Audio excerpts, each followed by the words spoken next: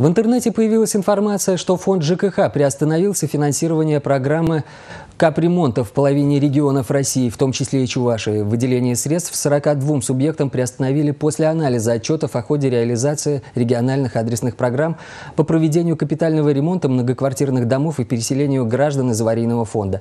Причины приостановки финансирования нам прокомментировала начальник отдела ЖКХ и реформирования Минстроя Чувашия Оксана Гаранина приостановили финансирование по двум программам. По программе «Капитальный ремонт», потому что у нас город Канаш, к сожалению, не успел отремонтировать фасад одного многоквартирного дома. Работы пришлись на зимний период, и они не успели выполнить. Вот сейчас плюсовые температуры пошли, и город Канаш обещает к концу недели нам завершить работу, а на следующей неделе оплатить, и значит вопрос по капитальному ремонту будет снят у нас. По программе переселения граждан из ветхого и аварийного жилищного фонда на 2008-2012 годы у нас тоже есть приостановка финансирования в связи с тем, что что Аликовский район и Бресинский район не успели завершить работы. Строительные организации, к сожалению, не исполнили взятые на себя обязательства. И установленные сроки, то есть до 30 декабря 2012 года, они не успели завершить эти работы.